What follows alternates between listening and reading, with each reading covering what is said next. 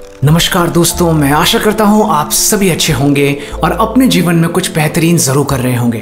और मैं स्वागत करता हूँ आप सभी लोगों का the slide show dot in के एक और नए एपिसोड में। आज के इस एपिसोड में मैं आप सभी के लिए लेके आया हूँ अनबॉक्सिंग और review Cosmic Byte Hydroid R laptop cooling pad का। तो चलिए बिना और विलम्ब किए इस एपिसोड को शुरू करते हैं। तो दोस्तों कॉस्मिक बाइट के इस कूलिंग पैड को मैंने अमेजन से करीबन रुपीज़ फिफ्टीन सिक्सटी सिक्स में लिया था। मेरे ख्याल से सेल टाइम में यह आपको और कम कीमत पर भी मिल सकता है।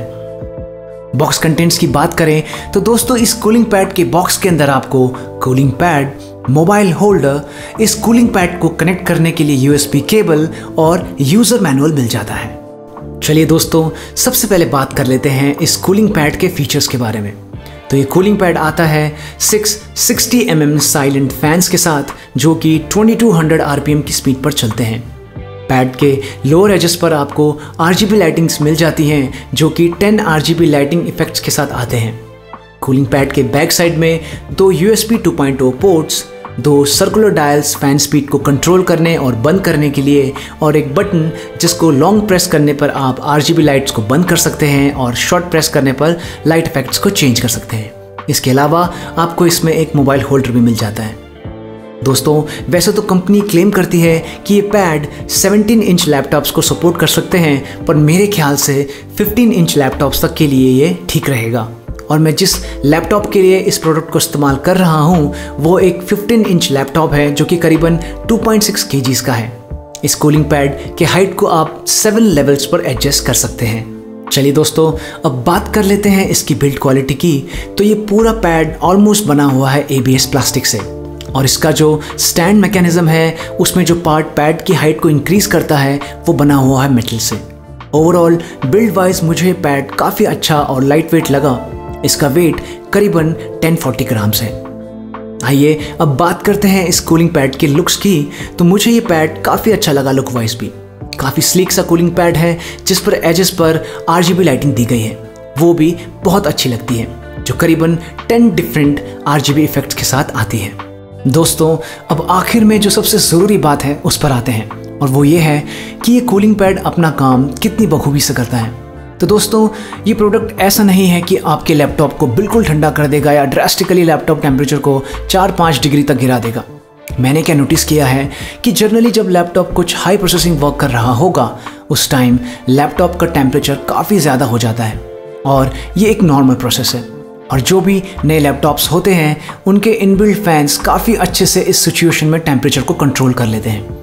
लैपटॉप का टेम्परेचर हाई रहता है, पर इनबिल्ट फ़ैन उसे एक अलार्मिंग टेम्परेचर पर जाने से रोके रखते हैं। वहीं, जब आपका लैपटॉप पुराना हो जाता है इनबिल्ट फ़ैन इतना कैपेबल नहीं रहता।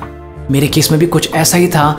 मेरे पास एक पुराना लिनोवो का लैपटॉप है, जिसे मैं सिर्फ़ ऑफ़िस वर्क के लिए इस्तेमाल करता हूँ। और इसके साथ क्या हो रहा था कि जब मैं कुछ थोड़ा बहुत हाई प्रोसेसिंग काम मैं इस पर कर रहा था, इसका इनबिल्ट फ़ैन बहुत ज़्यादा आवाज़ करने लगता था। फिर मुझे कूलिंग पैड्स का ध्यान आया और सच में गाइस जब मैंने इस कूलिंग पैड को यूज़ करना शुरू किया, अपने लैपटॉप पर लिटरली लैपटॉप का इनबिल्ट फ़ैन अब बिल्कुल भी आवाज़ नहीं करता। और उसका सीधा सिंपल रीज़न है ये कूलिंग पैड क्योंकि इसके कारण इनबिल्ट फ़ैन पर लैपटॉप को ठंडा करने का लोड काफ़ी कम हो गया और दोस्तों, मैंने इस चीज़ को और अच्छे से समझने के लिए फिल्मोरा वीडियो एडिटिंग सॉफ्टवेयर पर एक छोटा सा वीडियो एक्सपोर्ट किया। और कोर टेम्परेचर नाम के सॉफ्टवेयर से टेम्परेचर मेजर किया लैपटॉप का। तो इस सिचुएशन में मैंने क्या नोटिस किया कि टेम्परेचर 90 टू 95 डिग्रीज तक जा रहा था विद और विदाउट कूलिंग पैड पर जिस केस में कूलिंग पैड यूज़ कर रहा था, उसमें मैंने क्या देखा कि लैपटॉप हीटअप हुआ, पर इतना नहीं जितना विदाउट कूलिंग पैड हो रहा था। और एक और चीज़ मैंने यहाँ पे ये नोटिस की कि जैसे ही वीडियो एक्सपोर्ट ख़त्म हुआ विद कूलिंग पैड मेरा लैपटॉप काफ़ी जल्दी नॉर्मल टेम्परेचर्स पर वापस आ रहा था। In comparison of without cooling pad तो दोस्तों डेफिनेटली मैं ये कह सकता हूँ कि लैपटॉप की कूलिंग में मुझे काफ़ी डिफरेंस लगा कूलिंग पैड को यूज़ करके। लैपटॉप जल्दी ठंडा तो हो ही रहा है लैपटॉप के इनबिल्ट फ़ैन पर भी काफ़ी लोड कम पड़ता है और लैपटॉप का एयर फ्लो भी काफ़ी अच्छा हो जाता है। और फाइनल वर्ड्स में यही कहना चाहूँगा कि एसेसरी डेफिनेटली सभी को लेनी चाहिए। जिन लोगों का लैपटॉप पुराना हो चुका है, उन्हें तो ये लेना ही चाहिए। जिन लोगों ने लैपटॉप नया लिया है, उन्हें भी ये कूलिंग पैड डेफिनेटली लेना चाहिए, क्योंकि इससे आपके लैपटॉप के इनबिल्ट फ़ैन पर लोड काफ़ी कम हो जाएगा और उसकी लाइफ भी काफ़ी बढ़ जाएगी। तो दोस्तों, अगर आप ये कूलिंग पैड चेकआउट करना चाहते हैं तो इसका बाइंग लिंक आपको डिस्क्रिप्शन में मिल जाएगा। कोशिश कीजिएगा दोस्तों, इस कूलिंग पैड को अमेजन या फ्लिपकार्ट से लेने की, क्योंकि कॉस्मिक बाइट की ऑफिशियल साइट पर इसके प्राइजेस काफ़ी ज़्यादा हैं। तो चलिए दोस्तों, इसी के साथ ये वीडियो यहीं पर ख़त्म होता है। मैं आशा करता हूँ आप लोगों को आज का एपिसोड पसंद आया होगा। अगर पसंद आया हो तो प्लीज़ लाइक और कमेंट करके ज़रूर बताइएगा।